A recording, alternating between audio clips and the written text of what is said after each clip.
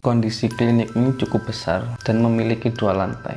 Harus menggali kuburan perawan dan mengambil tengkorak kepalanya. Bahkan sampai janda banyak yang jatuh ke pelukan Dagir. Orang-orang pun langsung bergegas berlarian mencari sumber suara tersebut. Lehernya pun tercekik kuat seperti ada seseorang yang mencekiknya.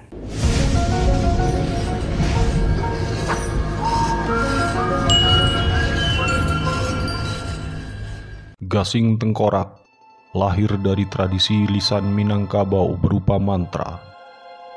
Mantra menurut Maryaliwati dan Wahyudi Rahmat dalam sastra Minangkabau dan penciptaan sebuah karya adalah puisi tertua dalam sastra rakyat Minangkabau. Cerita mistik Gangsing Tengkorak atau Gasiang Tengkurak diambil dari budaya Minangkabau. Gasing Tengkorak adalah praktik untuk mengganggu, menganiaya, dan menarik hati orang lain lewat bantuan jin yang pelaksanaannya dilakukan oleh dukun. Praktik ini sangat terkenal sehingga dikisahkan dalam lagu berbahasa Minangkabau bertajuk Gasiang Tengkurak. Dalam lagu ini yang diceritakan adalah persoalan percintaan cinta yang ditolak sehingga orang yang dikasihnya bertepuk sebelah tangan, menggunakan gasing tengkorak untuk menundukkan hati orang yang dicintainya.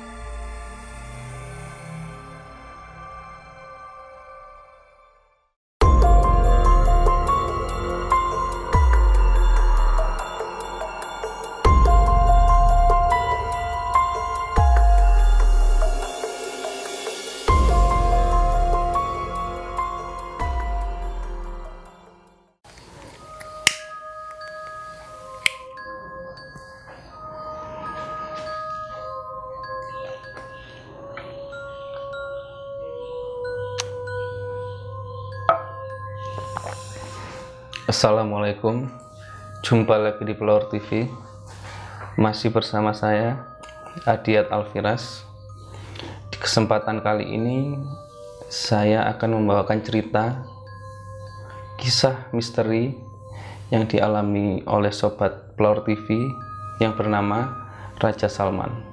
Karena menurut saya Ini adalah kisah yang sangat unik dan sayang untuk dilewatkan jadi kisah ini mengenai gangsing tengkorak. Buat teman-teman yang belum tahu, gangsing tengkorak adalah media pelet atau santet yang sangat ampuh untuk mendapatkan wanita-wanita cantik yang Anda idamkan. Dulu sekitar 20 tahun yang lalu di desa saya ada yang mempunyai gangsing tengkorak tersebut. Teman saya sendiri sebut saja namanya Dakir. Hampir semua gadis-gadis cantik yang ada di desa saya pernah dipacari oleh Dakir. Bahkan sampai janda desa sebelah pun banyak yang jatuh ke pelukan Dakir. Saking ampuhnya gangsing tengkorak miliknya. Tapi cara mendapatkan gangsing tengkorak ini tidak mudah. Bisa dibilang sangat sulit karena kita harus menggali kuburan perawan dan mengambil tengkorak kepalanya. Dan ini harus dilakukan di atas jam 12 malam. Jadi, soal mistis dan kehororannya tidak perlu dipertanyakan lagi. Coba kalian bayangkan tengah malam sendirian menggali kuburan orang. Itu saya tidak tahu gimana kira-kira rasanya mungkin itu sudah masuk kategori mencekam level dewa. Sepengetahuan kita atau yang sering teman-teman dengar ilmu pelet ini biasanya cuma mengambil tali pocongnya saja tetapi berbeda dengan gangsing tengkorak ini gangsing tengkorak harus mengambil tengkorak kepala si jenazah yang akan digunakan sebagai media pelet nanti. Dan di sini harus dipastikan bahwa si jenazah ini perawan. Karena itu akan menjamin kesaktian gangsing tengkorak tersebut. Sampai pada sekitar tahun 2000-an ada wanita cantik yang datang ke desa kami sebut saja namanya bunga jadi si bunga ini bukan tersasar atau bagaimana tetapi bunga ini mengantar ibunya yang sedang terapi patah tulang. Karena di desa kami ada klinik patah tulang yang sangat terkenal. Jadi banyak orang luar desa yang berdatangan ke desa kami. Karena terapi yang dijalani oleh ibu bunga tidak bisa sekali, harus berulang kali mengharuskan bunga dan ibunya untuk tinggal lebih lama di desa kami. Dan setelah beberapa hari bunga tinggal di desa kami, Dakir pun pemilik gangsing tengkorak tersebut tahu bahwa ada wanita cantik di klinik. Tanpa pikir panjang, tepat malam Jumat, Dakir pun langsung memainkan gangsing tengkorak miliknya.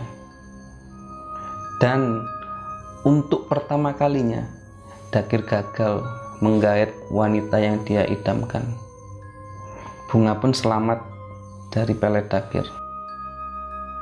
Tidak terima dengan kegagalan yang pertama, Dakir pun kembali melakukan ritual yang kedua. Tetapi ritual yang kedua Dakir gagal lagi dan kedua kegagalan ini membuat rasa penasaran Dakir menjadi-jadi. Ternyata usut punya usut. Sebelum Dakir menyukai bunga, bunga sudah dibagari oleh tunangannya yang kebetulan orang pintar juga. Sebut saja namanya Bang C. Jadi media pelet apa pun tidak ada yang mampu untuk menarik perhatian bunga. masih tidak terima dengan kegagalannya. Dakir pun memutuskan memelet bunga kembali dengan rasa penasaran yang tinggi karena ini adalah kegagalan pertama yang dialami oleh Dakir.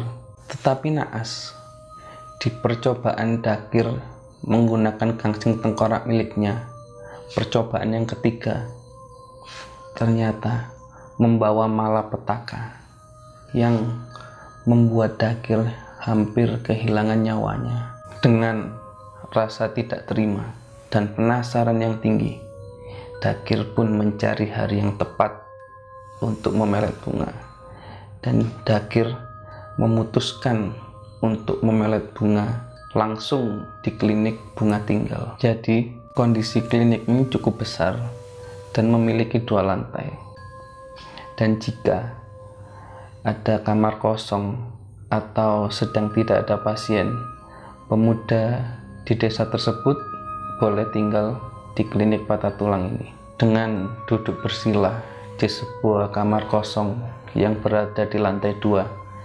Dakir pun menata perlengkapan peletnya dan siap untuk memainkan gangsing tengkorak miliknya.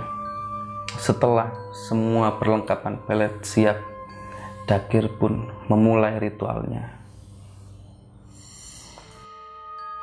Tapi di tengah-tengah ritual, tiba-tiba tubuh Dakir seperti ada yang menarik ke belakang, membuatnya terlempar ke kanan, ke kiri.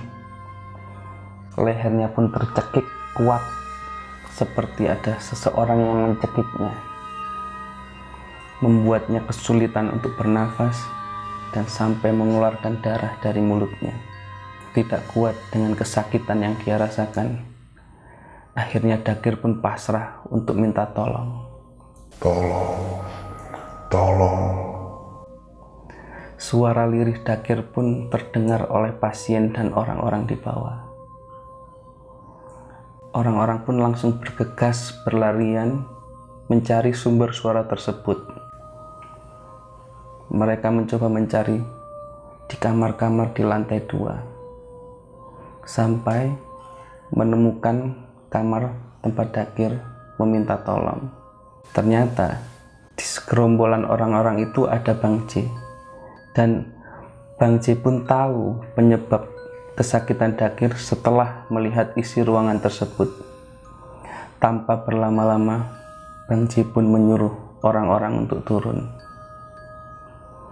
Setelah orang-orang turun dan tinggal mereka berdua di kamar, Bang C dan Dakir. Dakir pun meminta tolong kepada Bang C untuk menghilangkan rasa sakit yang dialami. Bang C pun mau membantu Dakir dengan satu syarat. Dengan syarat agar Dakir membuang semua ilmunya dan gangsing tengkorak yang dimilikinya. Dakir pun menerima syarat dari Bang C. Akhirnya Bang C pun menyembuhkan Dakir dan di situlah terakhir kali Dakir menggunakan gangsing tengkorak miliknya.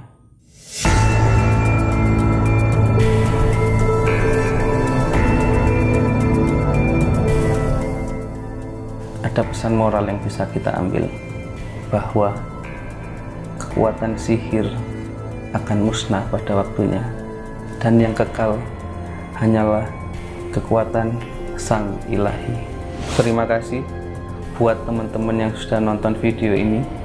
Sampai jumpa di kisah-kisah misteri selanjutnya.